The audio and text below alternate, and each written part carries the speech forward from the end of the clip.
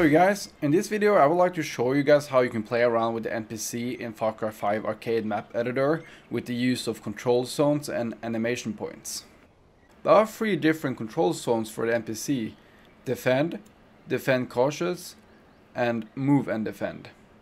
Let's spawn them and place an AI in each control zone.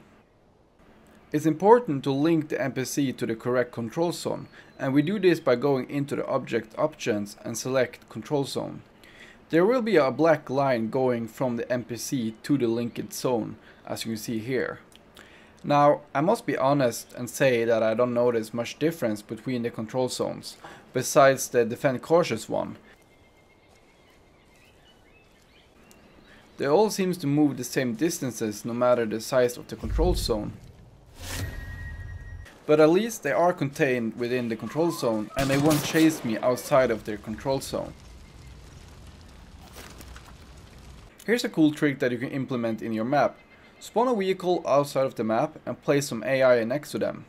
Then link them to a control zone inside the map. Now you will have a cool driving sequence in the beginning of the match. What's funny is that the AI will ignore the road path and they will just figure out their own way to the destination. It's not well demonstrated here, but you can play around with this and you'll notice they will drive some very crazy, they will take some really crazy pathways. It is quite enjoyable to watch. It also works with helicopters. I have not tried all the vehicles in the game sadly, but I believe all of them works besides the planes, because I have not managed to get a single AI into a plane. But as you can see now, the helicopter is trying to land, but is struggling and it can't do it. To fix this, we must make the control zone much much larger. I do encourage you guys to play around with the size of the control zone in your map. But once it's bigger, they will land no problem.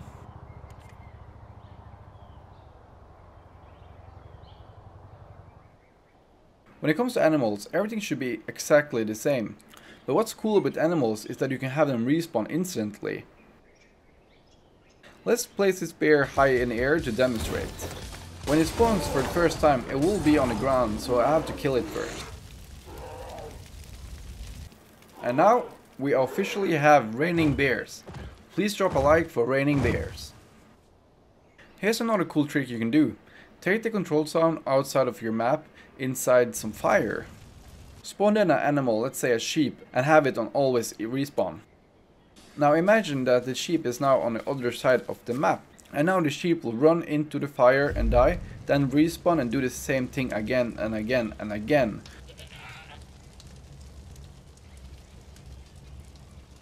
So if you wanted to have wildlife that runs through the map in a loop, this is way this is the way to do it. Instead of fire, I tried doing the same method but having a pit that the sheep will fall into. Sadly the sheep is too smart here and won't jump into the pit, so that won't work.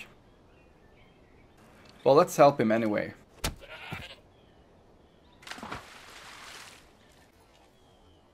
Finally, we have animation points. These are very easy to use. Let's say you want a bear to do something, you, you just need to go into the bear section and pick one of the available animation points. Change the settings to what you prefer and then just place it close to the bear.